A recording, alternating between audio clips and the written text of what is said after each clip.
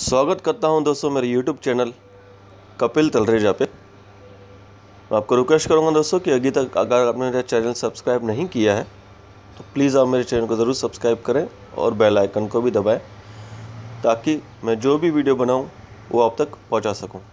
Thank you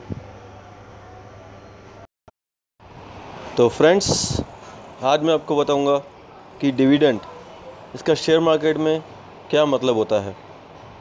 ठीक है दोस्तों a portion of a company's earning that is paid to shareholders or people that own that company's stock on a quarterly or annually basis a portion of a company's earnings that is paid to shareholders or people that owns that company stock on quarterly or annual basis.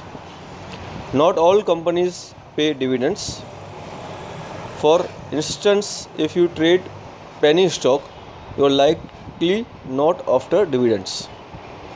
Not all companies pay dividends.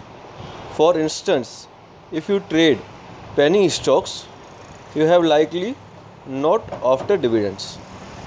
ठीक है दोस्तों तो अगर आपको मेरा video अच्छा लगा हो तो प्लीज़ आप मेरे चैनल को ज़रूर सब्सक्राइब करें और बेल आइकन को भी दबाएँ ताकि मैं जो भी वीडियो बनाऊँ आप तक तो पहुँचा सकूँ। Thank you